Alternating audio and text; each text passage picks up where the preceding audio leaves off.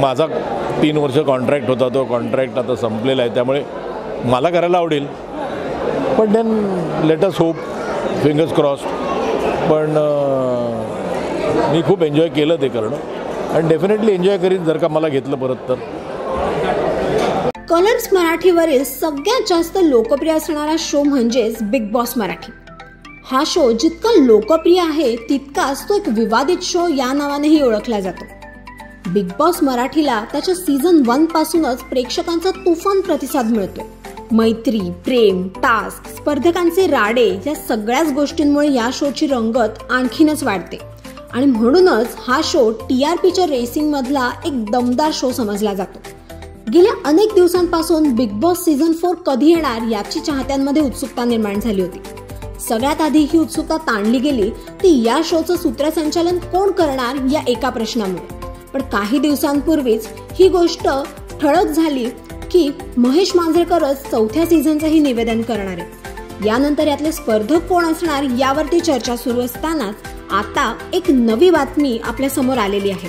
सूत्रांच्या माहितीनुसार येत्या अकरा सप्टेंबरला बिग बॉस मराठीचा चौथा सीझन लॉन्च होणार होता.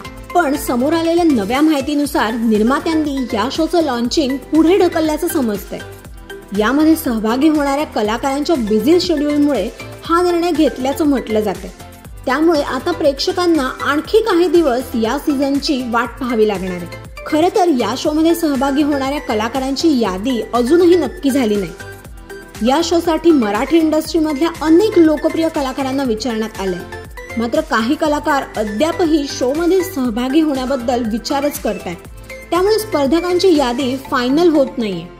आता हा शो पुन्हा एकदा लांबणीवर पडणार हे ऐकून मात्र चाहत्यांची चांगलीच निराशा होताना दिसली. पण आपण अशी आशा करूयात की बिग बॉस सीझन फोर हा लवकरच आपल्या भेटीला येईल.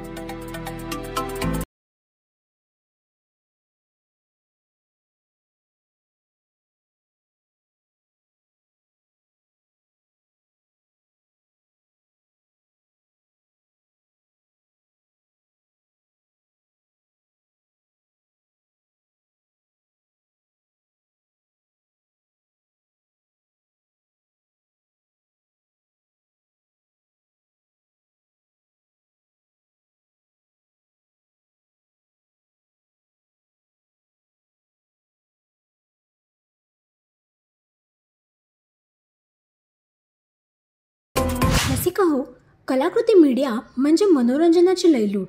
मनोरंजन क्षेत्रातील किस्से व घडामोडींचा आस्वाद घेण्यासाठी कलाकृती मीडिया या यूट्यूब चॅनलला सबस्क्राईब करा आणि व्हिडिओ लाईक करा.